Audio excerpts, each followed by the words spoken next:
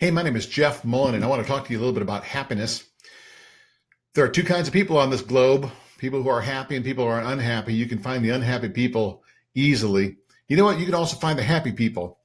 They're people that are going out of their way to encourage others. In fact, some of them just are naturally happy to encourage others. I know of an executive in, in a, real estate company who has on her desk, uh, she has a glass and in it has 10 pens and she is dedicated every day to encourage 10 people. So she'll go out and encourage a person, take that pen out and put on her desk.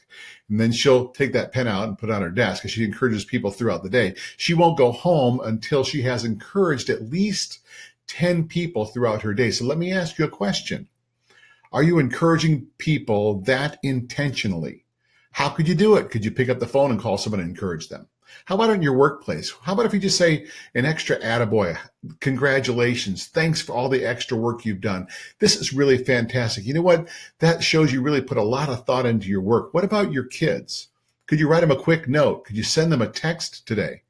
Some are at home, some are off to college, some are other parts of the country, some are in other parts of the globe. How about if you text them? How about if you just email them to let them know how proud you are of them, how much you love them? Are you an encourager? Are you building people up? That's what happy people do.